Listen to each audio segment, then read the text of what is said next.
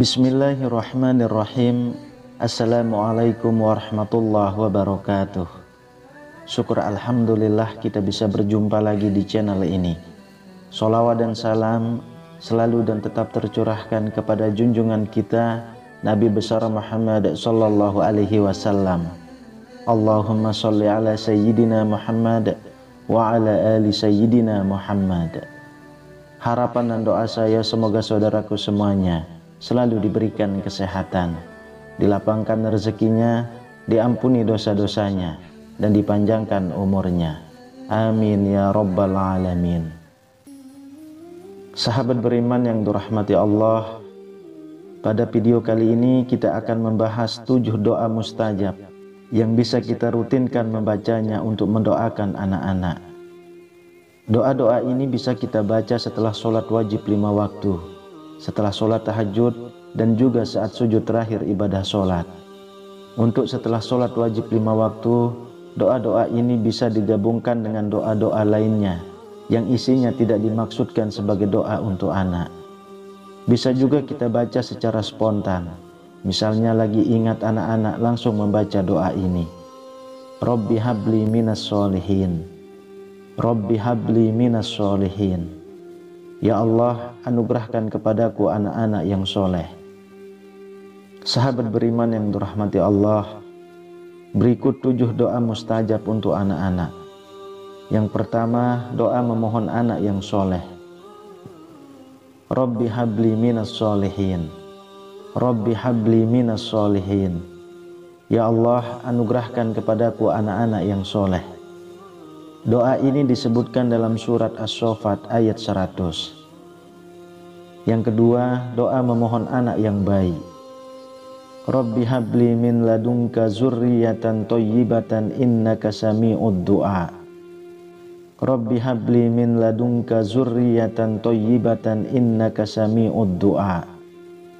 Wahai Tuhanku, anugerahkan kepadaku dari sisimu anak keturunan yang baik Sungguh engkau zat yang maha mendengar doa. Sumber doa ini adalah ayat 38 dari surat Ali Imran. Yang ketiga, doa untuk anak agar rajin sholat dan rajin ibadah. Rabbi ja'alni muqimas sholati wa min zurriyati Rabbana wa taqabbal du'a. Rabbi ja'alni muqimas sholati wa min zurriyati Rabbana wa taqabbal du'a. Ya Tuhanku, jadikanlah aku dan anak keturunanku sebagai orang yang mendirikan sholat. Wahai Tuhan kami, kabulkanlah doaku. Doa ini disebutkan dalam surat Ibrahim ayat 40. Yang keempat, doa memohon anak dan keluarga yang menenteramkan hati. Rabbana hablana min azwajina wa zurriyatina qurrata a'yunin waj'alna lil muttaqina imama. Rabbana hablana min azwajina wa zurriyyatina qurrata a'yunin waj'alna lil muttaqina imama. Ya Tuhan kami anugerahkanlah kepada kami pandangan mata yang menyejukkan dari para istri dan anak keturunan kami dan jadikanlah kami pemimpin bagi orang-orang yang bertakwa Doa ini disebutkan dalam Al-Quran surat Al-Furqan ayat 74. Yang kelima, doa untuk anak agar dimudahkan dalam belajar. Allahumma faqihu fid din wa allimhu ta'wil. Allahumma faqihu fid din wa allimhu ta'wil. Ya Allah, jadikanlah dia anakku kepahaman agama dan ajarilah ia ilmu Al-Quran.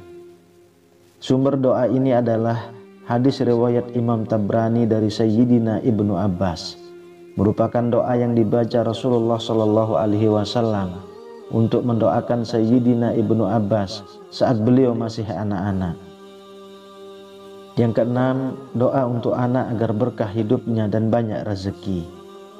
Allahumma aksir malahu wa waladahu wa barik lahu fima a'taitahu Allahumma aksir malahu wa waladahu wa barik lahu fima a'taitahu Wahai Allah perbanyaklah harta dan anakku serta berkahilah selalu baginya apa yang telah engkau berikan kepadanya.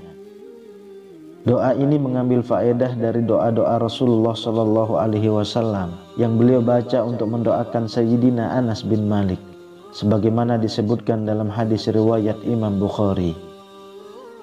Kemudian yang ketujuh, doa untuk anak agar dijaga Allah dan pandai berbakti. Allahumma barik li fi auladi wahfazhum wa la tadurruhum warzuqna birrahum. Allahumma barik li fi auladi wahfazhum wa la tadurruhum warzuqna birrahum. Ya Allah, berikan kebaikan yang banyak pada anak-anakku. Jagalah mereka dan jangan kau celakakan mereka. Karuniakanlah kami ketaatan kepadamu. Sahabat beriman yang dirahmati Allah, demikian tujuh doa mustajab yang bisa kita baca untuk mendoakan anak-anak yang bersumber dari Al-Quran dan hadis Rasulullah Sallallahu Alaihi Wasallam. Wallahu a'lam bishawab. Demikian yang bisa saya bagikan. Semoga bermanfaat untuk kita semua. Amin ya rabbal alamin. Assalamualaikum warahmatullahi wabarakatuh.